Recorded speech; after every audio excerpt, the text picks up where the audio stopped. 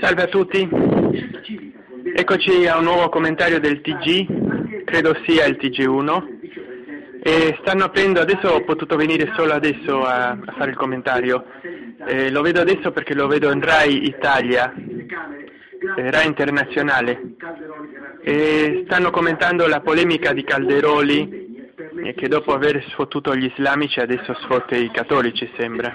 Quindi eh, lui è a favore delle pari opportunità, eh, pari opportunità di prendere tutti per il culo.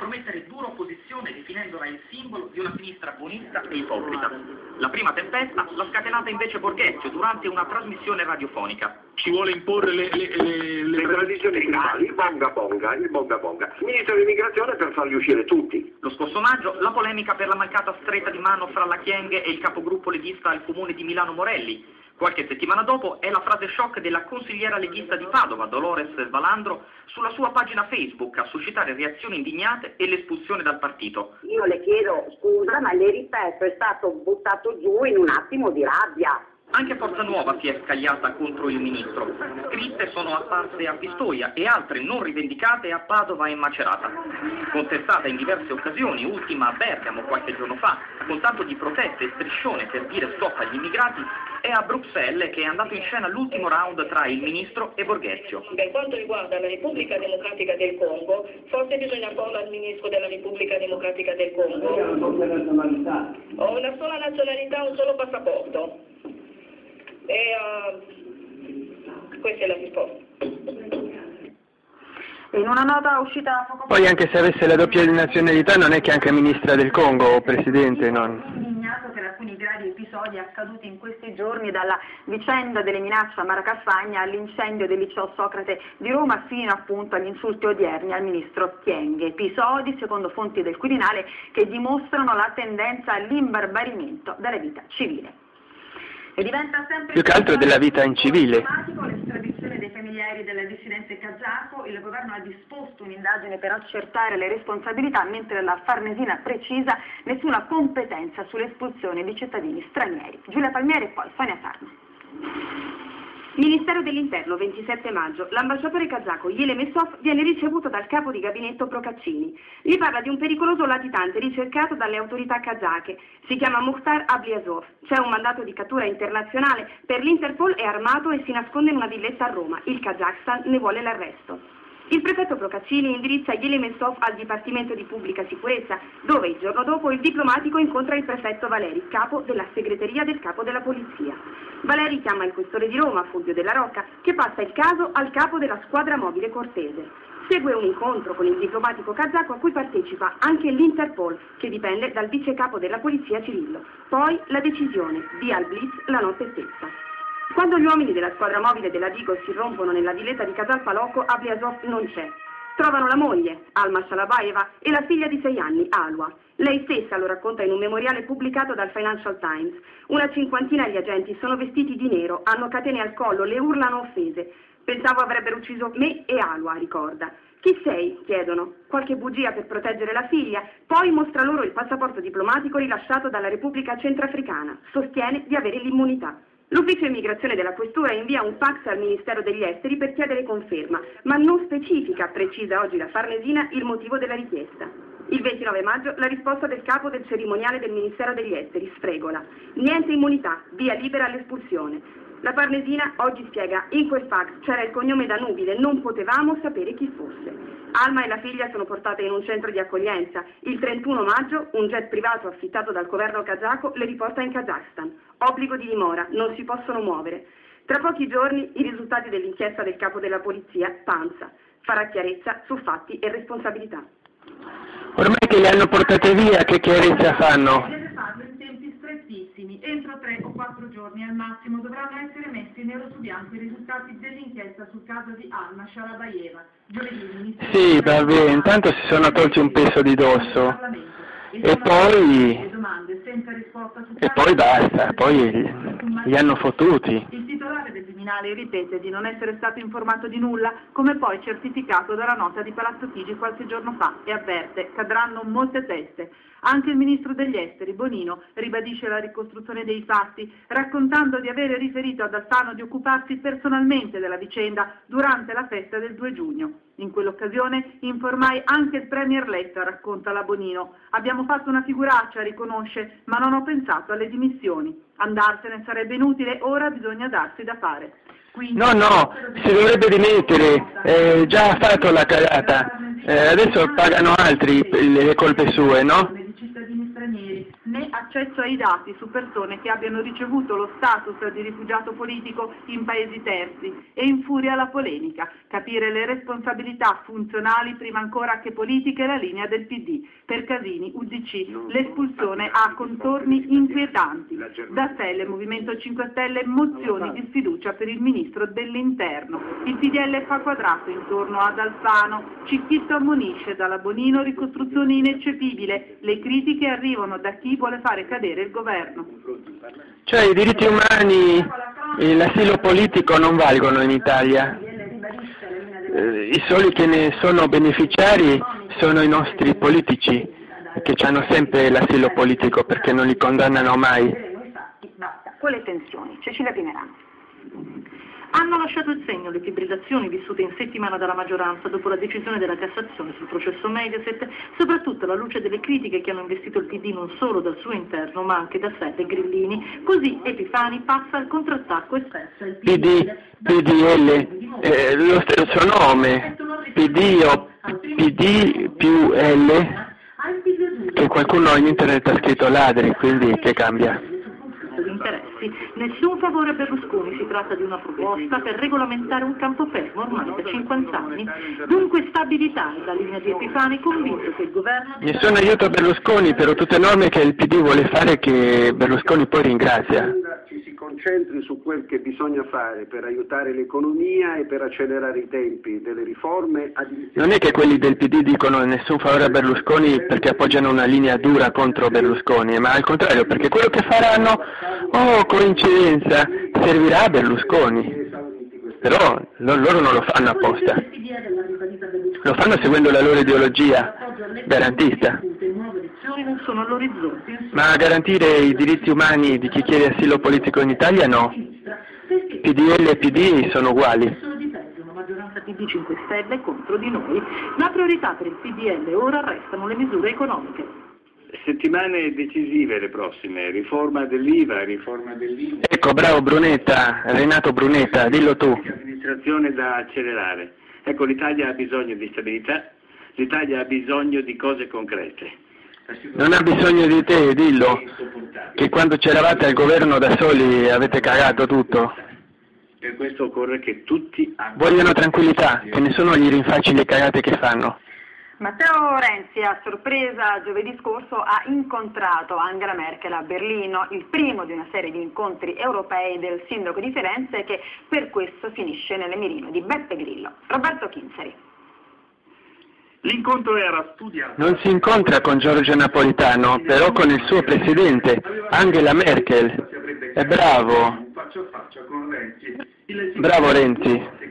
prima persona la politica internazionale. Meno di un anno fa assistette in America all'incoronazione democratica di Obama, ma adesso l'incontro, avvenuto giovedì scorso a Berlino e reso noto solo ieri notte, assume un altro valore. Competitività, lavoro, Europa, i temi del colloquio fanno sapere dalla Germania. Renzi studia da Premier, anche se sta attento a non fare inciampare l'amicoletta, informato anzitempo della visita alla cancelliera. Non c'è un'agenda definita, ma si lavora per fare tappa nelle prossime settimane a Parigi e Londra. Probabile. Meno male che è di sinistra, è andato a, avere- a vedere l'incoronazione dell'imperatore Obama.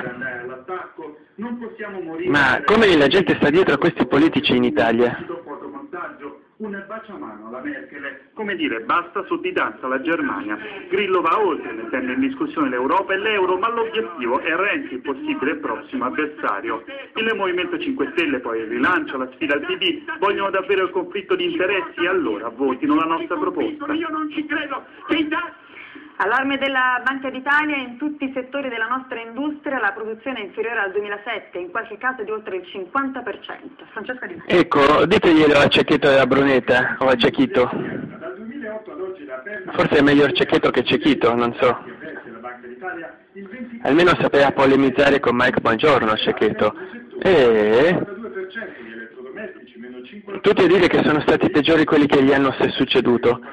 Eh, PD, PDL. Pressioni molto superiori a quelle registrate dalle aziende francesi e tedesche. Ma voi cari amici e cari amiche che ne pensate di tutto questo? Perché io faccio sentire il telegiornale in diretta e però eh, voi poi ragionateci sopra, no? non dovete ascoltare bovinamente le balle che vi dicono nella RAI, perché della RAI nel mondo non frega un cazzo a nessuno. Di 5 punti, una pressione fiscale maggiore.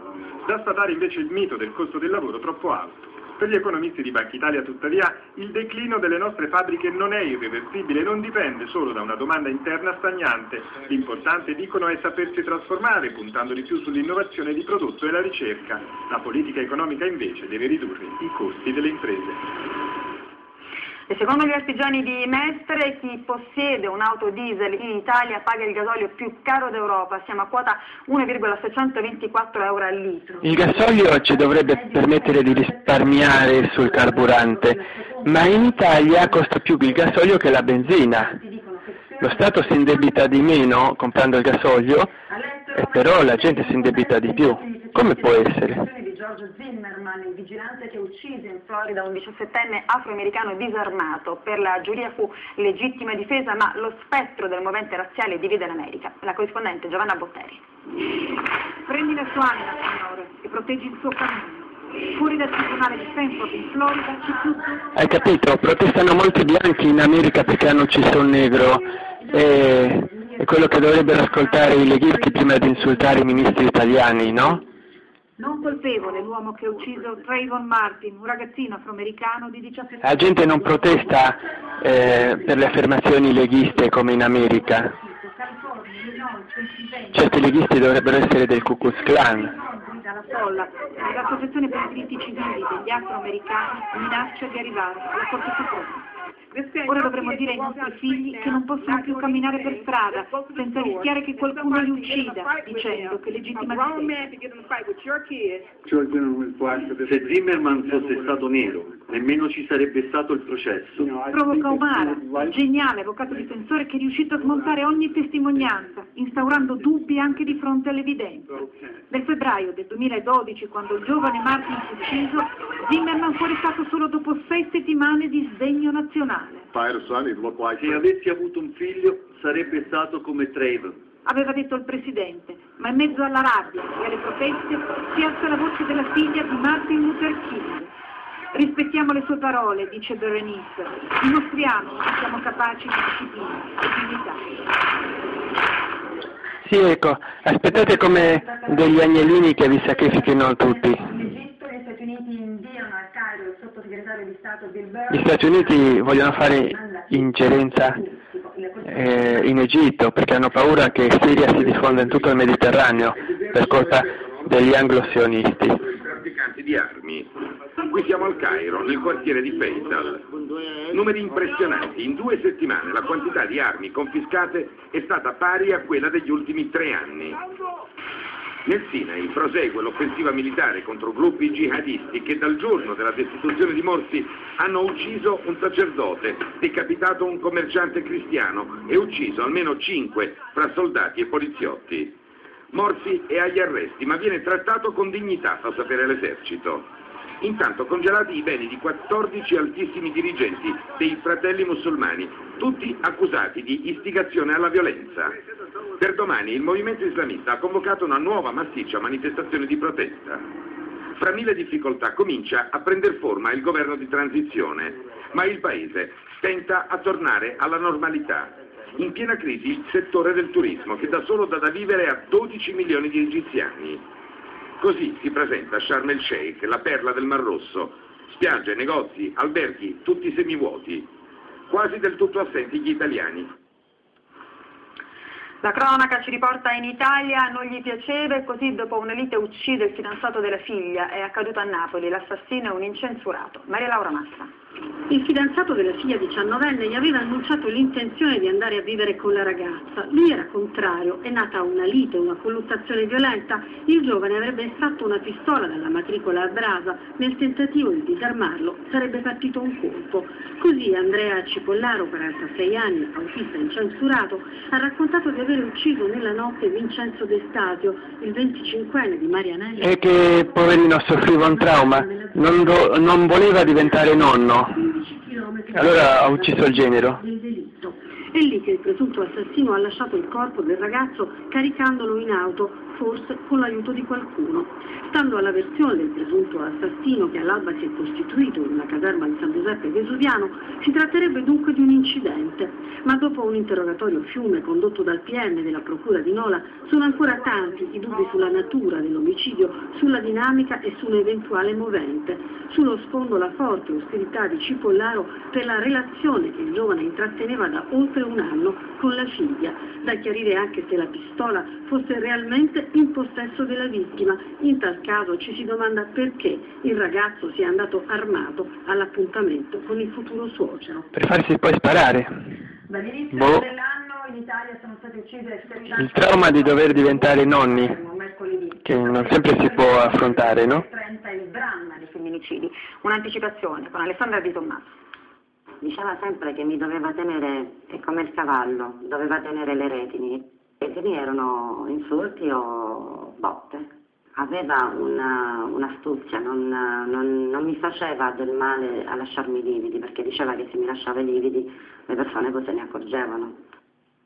E in una forte discussione ehm, ha tentato di, di- di uccidermi e il, il figlio grande mi ha salvata, mi ha fatto la rianimazione, quindi... Il figlio di Maria aveva 14 anni quando ha salvato la madre, il padre stava cercando di strangolarla. La incontriamo al centro antiviolenza di Messina, 15 anni di matrimonio, di soprusi e botte, poi la forza di lasciare il marito. Maria si è salvata. Altre donne, 124 nel 2012, non ce l'hanno fatta e nel 40% dei casi... Io dico, sono bestie neanche, non sono uomini, sono orchi, mostri. Che tipo di uomini si rivolgono a voi? Sentono la gravità della situazione, cominciano a sentire che eh, la moglie o la compagna non, non ci sta più questo gioco e quindi uomini che hanno fatto un minimo di passo di consapevolezza. Si fingeva maschio per diventare campione di squash è la storia di una ragazza pakistana costretta a fuggire in Canada per scampare alle minacce dei talebani e continuare a fare sport. Francesca.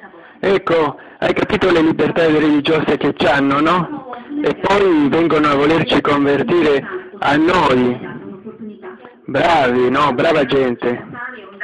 Acquisito per Maria Torfakai, 23 anni, nata in un villaggio tribale del Pakistan, è stato una conquista. Per inseguire i suoi sogni e diventare una campionessa di squash ha dovuto fingersi un altro, sì, un altro, al maschile. I wanted to live freely like boys. Avevo quattro anni quando ho capito che volevo essere libera come i ragazzi. Allora ho bruciato i vestiti da femmina e ho iniziato a vestirmi come i miei fratelli. Ed è così che Maria, capelli corti, aria risoluta, ha iniziato a fare sport fingendosi un maschio. Gengis Khan, il nomignolo che le ha dato il padre, quello che ha voluto fare di lei una campionessa, fino a che l'inganno non è stato svelato. A 16 anni un documento rivela la vera identità di Maria. Di lì le minacce dei talebani e la scelta della famiglia, una borsa di studio in Canada.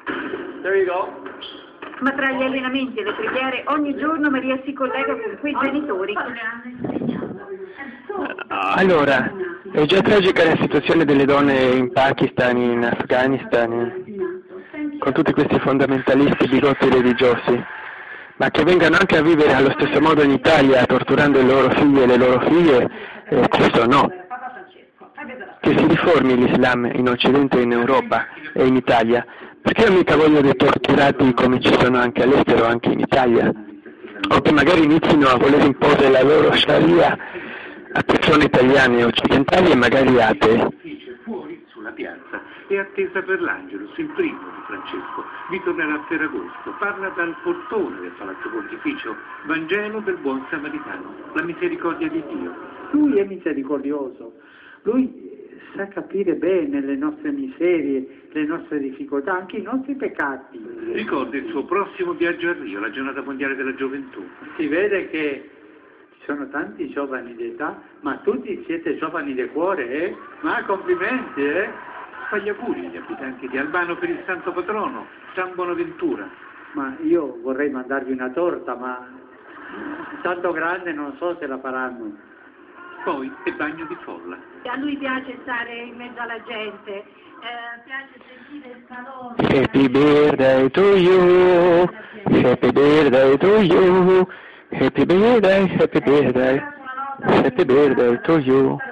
Straordinario dell'Ilva Enrico Bondi al presidente della regione Puglia Niki Vendola e al direttore generale dell'ARPA Giorgio Assennato. Nel documento si legge che l'aumento dei tumori ai polmoni a Taranto sarebbe dovuto all'eccessivo consumo di sigarette in passato più reperibili in una città portuale che altrove e non a esposizioni occupazionali e ambientali occorse negli ultimi due decenni. Movimento 5 Stelle, Verdi e Rifondazione chiedono le dimissioni del commissario. Il ministro dell'ambiente Orlando ha deciso di convocare Bondi.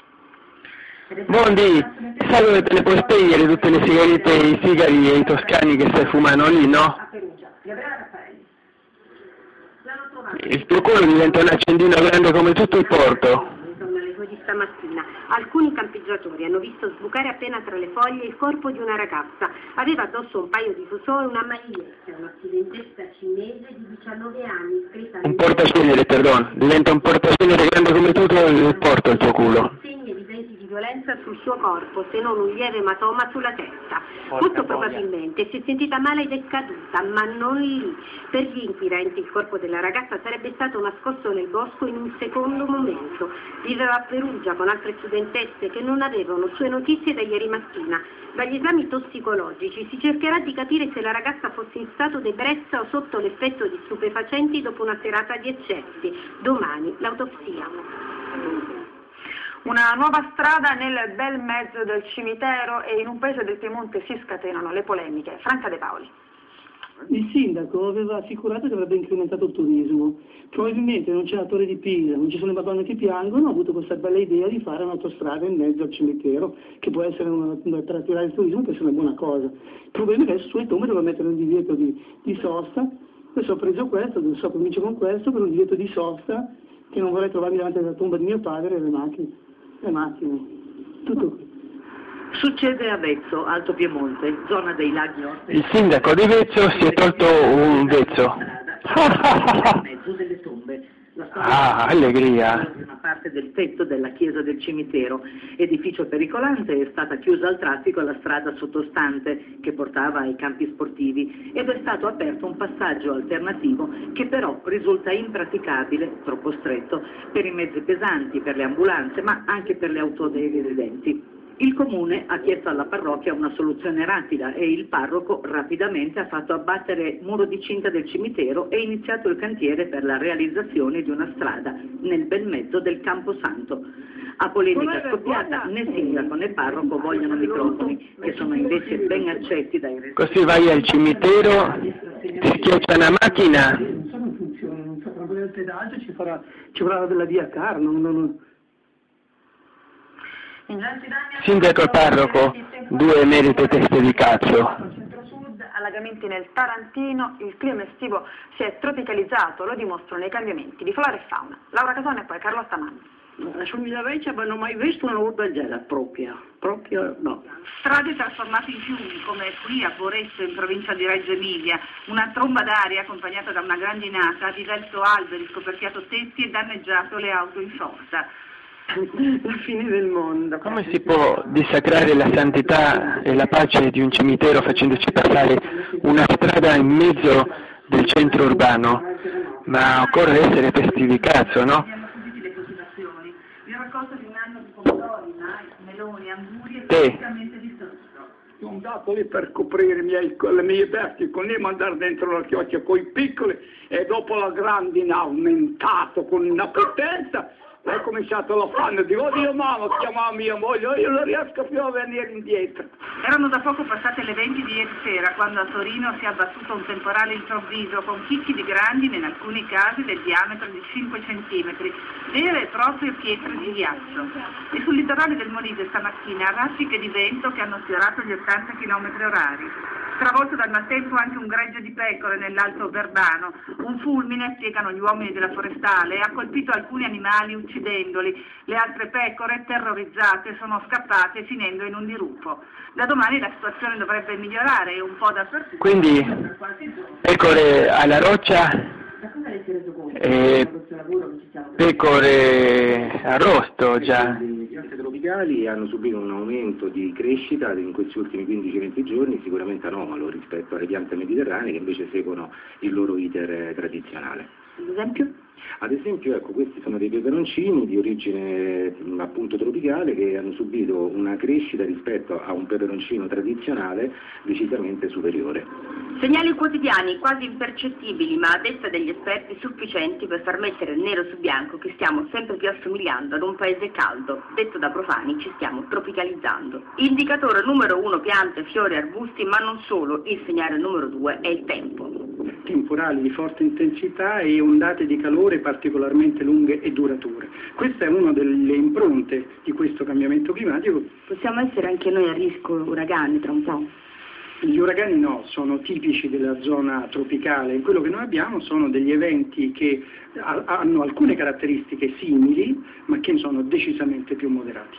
Ma è qui in mare dove la virata di fauna e flora verso i paesi del sud del mondo è più evidente. Le grandi navi trasportano ogni giorno 10 milioni di tonnellate di acqua di zavorra, quelle che servono a stabilizzare, e insieme all'acqua anche pesci e alghe mai visti. Sono state stimate che in Mediterraneo sono ormai entrate oltre 700 specie, chiamiamole, definiamole aliene, specie provenienti da, da altri mari. Tra gli ospiti più numerosi che ci hanno invaso, il barracuda, che si è riprodotto a dismisura nei nostri mari. Al momento però, tranquillizzano gli esperti, non è aggressivo. No? Ah, eh, sta tranquillo? Boh. Sì, perché sono ancora pochi. La nostra inviata, Roberta Badoni. La fila di questi tempi è il buon segno dell'accesso ad un museo che per un turista dell'arte, ci racconta questa famiglia canadese, può valere tutto un viaggio. Un'oretta e mezza diciamo di fila, però vale la pena. I monumenti di Firenze riflettori puntati non solo per quelle ore di assemblea finite nelle cronache delle porte chiuse dei musei, poi l'attacco francese con le Figaro che accusa di arroganti dipendenti, meno di 200 per esempio agli uffizi accolgono, assistono circa 1.800.000 turisti l'anno, un lavoraccio, dice Rosario, ricercatore di storia dell'arte, qui 1.300 euro al mese fa il custode, spiega Michelangelo, quello continuo con il Louvre, un confronto, dice senza senso. Eppure il Louvre conta su 2.000 dipendenti, su una superficie espositiva sei volte superiore agli Uffizi. Fatte le debite proporzioni si può dedurre che gli Uffizi sono più efficienti e più produttivi del Museo del Louvre. Facciamo un giro, tutti i musei aperti, del resto dopo le assicurazioni del governo gli animi ci spiegano sono più sereni, anche se rimangono i disagi. Ma che assicurano, eh, che assicurano quelli del governo? Eh, incredibile, vogliono assicurare anche i turisti. Questo signore ci viene dall'Australia, almeno finché resistiamo. Cosa manca? Il sedile in più. Un migliaio di persone aspettando di entrare negli uffizi a Firenze. Ci corre qualche sedile in più. Ma riempiono la piazza, ci fanno un cinema all'aperto, visto che aspettano. Se una volta era quello sulle botticelle il giro classico tra le bellezze della capitale, oggi i vetturini aspettano fermi per ore in piazza di Spagna, mentre per le vie del centro scorrazzano avanti e indietro turisti in abile equilibrio su queste due ruote. Non è proprio Segway, ma qui a Roma, se vogliamo, biga elettrica in fondo, ci assomiglia. Il settimanale americano Time lo ha inserito tra le invenzioni più inutili di sempre, è vero, non ha rivoluzionato il mondo dei trasporti, ma ha sicuramente fatto breccia nel cuore dei turisti. E così ci raccontano solo a Piazza del Popolo se ne noleggiano una media di 150 al giorno. What do you think about it? È abbordabile, non costa tanto ed è perfetto per un giro turistico, ci dice lui, 15 euro per un'ora, 7 società di noleggio a Roma, circa 5.000 mezzi in tutta Italia, tra Milano, Firenze, Torino, Siracusa, ovunque la possibilità di tour organizzati. Il tour classico dura circa un paio di ore, ha come partenza qui Piazza del Popolo, si va verso Via del Corso, poi a Piazza Navona, il Pantheon, Fontana- Via del Corso, eh, via di corsa. Piazza Venezia, il Colosseo. In questo caso al costo del noleggio si deve aggiungere quello della guida turistica a 40 euro l'ora. Per il codice della strada la diga elettrica vale un pedone e così via libera sul marciapiedi nelle zone chiuse al traffico. A Villa Borghese il via vai è continuo, qualcuno si lamenta delle condizioni dell'asfalto, ma poi il panorama ripaga di tutto. Hai capito? La gente si lamenta e poi il periodico Panorama eh, ripaga di tutto, quindi tutto spese, se non mi sbaglio, eh, eh, di De Benedetti. eh, credo che il Panorama era suo, non so. Morto in una camera d'albergo di Vancouver in Canada, Cory Monty, star della serie televisiva americana Glee, un fenomeno da 50 milioni di telespettatori. Secondo la polizia non si è trattato di morte violenta, l'attore 31enne aveva avuto in passato problemi di alcol e droga, grande sgomento su internet, la sua morte è in questo Poveraccio, appena 31 anni e già è morto per alcol e droghe. Ah, che tristezza. Di Eddie Murphy e Homer Simpson, uno dei più grandi doppiatori italiani, aveva 64 anni. Paolo Sommalura.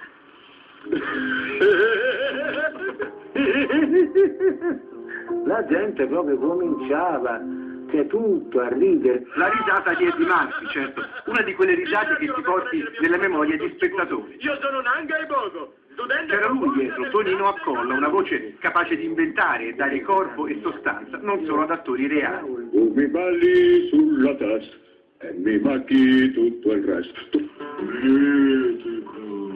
È stato la voce di Homer Simpson, è stato la voce di tanti personaggi di animazione. Uno dei più divertenti, Mike, di Monster Secco, era ancora lui. Meno chiacchiere e più azione, buona azione! Ah! Tra gli attori, Billy Crystal, basterebbe Harry ti presento Sally. Ho tutto il diritto di scaricare la rabbia su te, specialmente quando chi mi insegna a vivere la mia vita e mi spunti perfetti. E poi Hugh Grant, Jim Carrey e il Mickey Rourke di nove settimane e mezzo. Ero così stupido, ho dovuto aspettare che avesse chiuso la porta per rendermi conto che non potevo più fare a meno di lei. Eccellente direttore di doppiaggio, Accolla è stato uno dei talenti più grandi di un settore che prevede lavoro nell'ombra, ma richiede capacità d'attore. Ascoltiamolo ancora con il volto di Kenneth Branagh, il film Enrico V, l'astro d'argento nel 1991 per il miglior doppiaggio. E per quanto umile la sua condizione sarà da questo giorno elevata, e tanti gentiluomini ora a letto in patria si sentiranno maledetti per non essersi trovati oggi qui, e menomati nella loro virilità, sentendo parlare chi ha combattuto con noi questo giorno di San Crispino! Ed è tutto ora Rai TG Sport, poi Teche Teche Te e la fiction. Che è questo?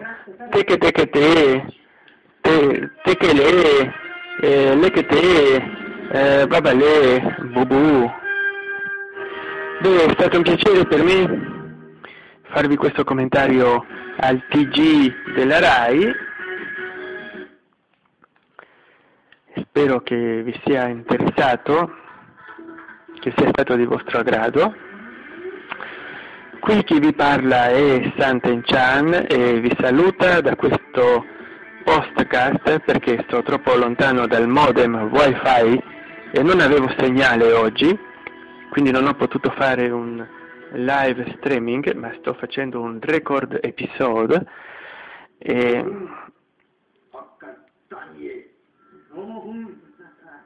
e quindi adesso caricherò nel mio canale radio Santen Chan in cui voi state sintonizzati eh, questo postcast commentando il TG1 e poi eh, vi invito tutti a vedere tutti voi che mi seguite e anche quelli che non sono iscritti al mio canale radio Santen Chan di Spreaker vi invito a vedere i miei video in YouTube nel canale Santen Chan in Vimeo nel canale Santen Chan e in Dailymotion nel mio canale Santen Chan. Poi seguitemi in Santen Chan eh, Facebook e in Santen Chan Twitter.